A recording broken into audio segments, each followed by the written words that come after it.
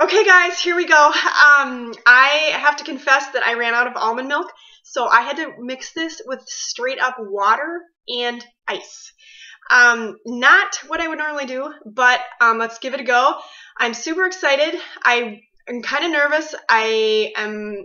I really want to like this because I'm a coffee snob. So here we go. Down the hatch. Hmm. Yep, it's good. Okay, so